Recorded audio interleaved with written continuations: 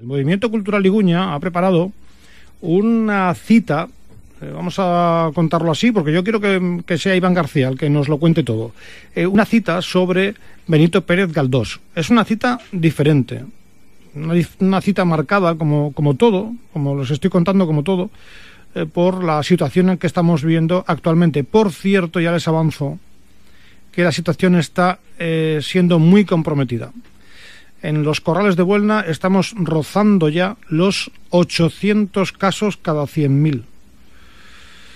Así que háganse una idea, vayan preparándose.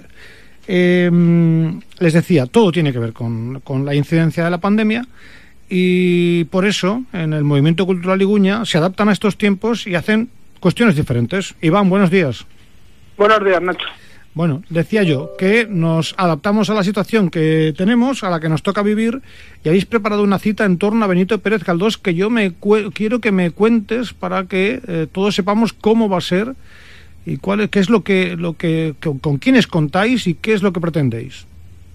Bueno, pues eh, como tú bien has dicho, Nacho, eh, pues esta situación nos ha obligado a hacerlo en un formato eh, diferente al, físico, eh, en este caso un podcast, eh, un podcast para que todos aquellos y todas aquellas que nos estén escuchando, digamos, para, para que nos entiendan, es un programa de radio, pero que en vez de escuchar en directo, es, es grabado por nosotros y por los conferenciantes y y luego eh, se edita y se sube a las redes, a plataformas y, a internet para que todos aquellos que lo quieran escuchar eh, lo puedan hacer cuantas veces quieran y donde quieran. Bueno, pues ahí está. Eh, ¿Qué es lo que podemos hacer? ¿Cómo podemos mandar nuestras opiniones o nuestras preguntas? como muchos saben, estamos en 2020, es el año, el centenario de su muerte y eh, pues eh, qué mejor homenaje para hacerlo. Además es un autor que reúne muchas eh, mm, muchas simpatías por Cantabria y, más por Santander. El, el, podcast como tema pues es un programa no es un programa cerrado es un programa abierto en el que se tratarán pues su vida su pensamiento su obra y su relación con, con la provincia santanderina. ¿Y quién lo va a hacer?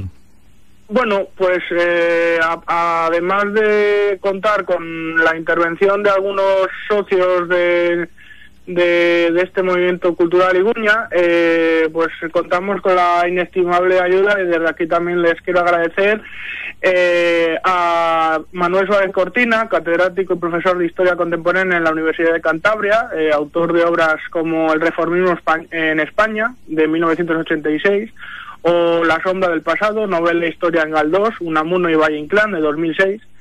Eh, también contaremos con la presencia de Yolanda Arencibia, catedrática emérita de la Universidad de Las Palmas de Gran Canaria, autora de obras como La lengua de Galdós de 1987 y eh, la última obra de, biográfica de Galdós que se ha sacado al mercado, eh, Galdós, una biografía de 2020 y que ha sido galardonada este año con con el premio, con el último premio comillas. Y por último, eh, y no menos importante, eh, también tendremos a Marisa Samaniego, profesora de Filología de la Universidad de Cantabria. Bueno, pues eh, ahí está, ni más ni menos. ¿Y cuál puede ser nuestra participación? Bueno, pues como va a ser programa que se va a grabar entre nosotros mm, y luego se va a subir a internet, eh, la participación que pueden hacer todos y, eh, todas eh, aquellas que quieran sería contactar con, con, nosotros en nuestras redes sociales como Facebook, en Movimiento Cultural Iguña, en nuestro correo culturaiguna.gmail.com eh, o por el número de teléfono, bien por llamado, bien por WhatsApp, 695 92 10 74 y por esos medios eh, pues enviarnos cualquier pregunta eh, que quieran hacerse sobre ese tema o alguna de estas personalidades sobre Galdós eh, para que nosotros la podamos hacer y sea contestada y luego en, en, diferido la gente pues pueda escuchar la, respuesta de, de, estos. Mm, porque una vez todo esté unido lo vamos a poder ver cómo.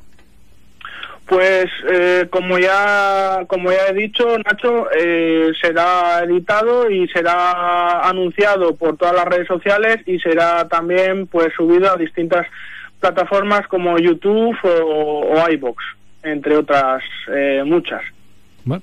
Pues ahí lo tienen, una cita con Benito Pérez Galdós que promueve el movimiento cultural Iguña. Tienen más, más ideas, más iniciativas, pero de esas iremos hablando poco a poco con más protagonistas de este movimiento cultural que, eh, Iván, yo te, eh, te pregunto, ¿va creciendo?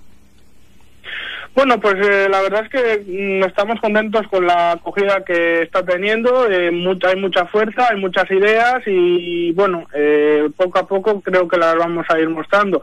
Eh, más o menos estamos ahora con algunos proyectos en mente que ya tenemos abiertos y estamos ideando y también queríamos la, la, el beneplácito y la ayuda de, por de nuestros vecinos, vecinas y otra mucha gente que quiera participar, eh, pues entre ellas eh, un club de lectura al que animo a, la gente por estas eh, vías que he dicho también de comunicación en, en Galdós para participar. Eh, otro día, si quieres, pues Nacho, me invito a, te invito a que que entrevistes a uno de mis compañeros o compañeras para que te lo cuente más en profundo. También tenemos en mente un, una radioteatro, también invitando a otra gente para, para que se apunte.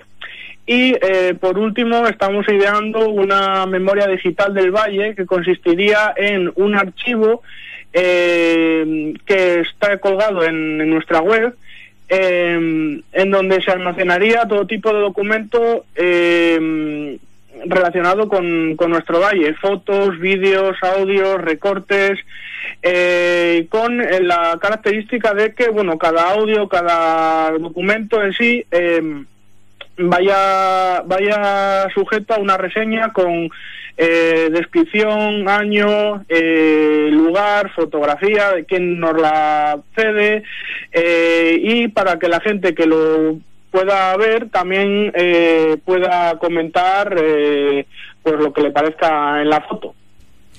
Pues ahí están las iniciativas del Movimiento Cultural Liguña que iremos contando aquí poco a poco con más protagonistas de este movimiento cultural. Hoy nos hemos quedado con esa cita interesantísima, al más alto nivel además y diferente, con Benito Pérez Galdós. Iván, estaremos en contacto como siempre. Muchísimas gracias. Muchísimas gracias, Nacho. Gracias, Iván. Iván García es eh, uno de los representantes del movimiento cultural Iguña.